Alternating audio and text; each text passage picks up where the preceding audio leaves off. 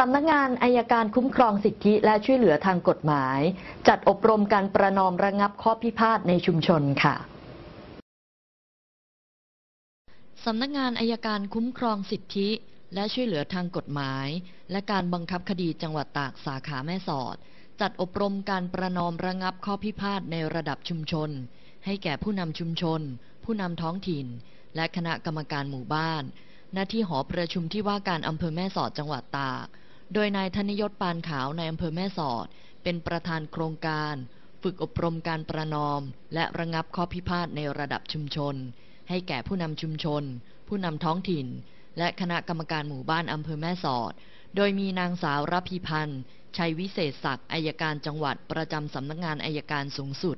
สำนักงานอายการคุ้มครองสิทธิ และช่วยเหลือทางกฎหมาย และการบังคับคดีจังหวัดตากสาขาแม่สอด กล่าวรายงาน มีผู้นำชุมชนท้องถิ่นกำนันผู้ใหญ่บ้านในพื้นที่อำเภอแม่สอด เข้าร่วมรับการอบรมกว่า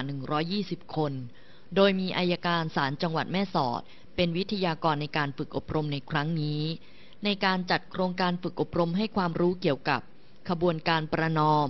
และระงับข้อพิพาทแก่ผู้นำชุมชน ผู้นำท้องถิ่น และคณะกรรมการหมู่บ้านในครั้งนี้ ทางสำนักอายการคุ้มครองสิทธิและช่วยเหลือทางกฎหมาย และการบังคับคดีจังหวัดตากสาขาแม่สอด ซึ่งมีภารกิจเกี่ยวกับการคุ้มครองสิทธิของประชาชน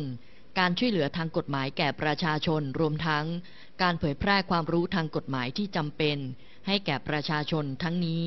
การไกล่เกลี่ยและประนอมข้อพิพาทเป็นทางเลือกหนึ่ง ในการดำเนินการของกระบวนการยุติธรรม ที่สามารถนำมาใช้เพื่อยุติข้อพิพาทของประชาชนตามหลักเกณฑ์ ที่กฎหมายกำหนด ซึ่งจะเป็นการลดปริมาณคดีสู่ศาลและทำให้ประชาชนผู้มีปัญหาข้อพิพาทได้หาทางออกร่วมกันอย่างสันติต่อไป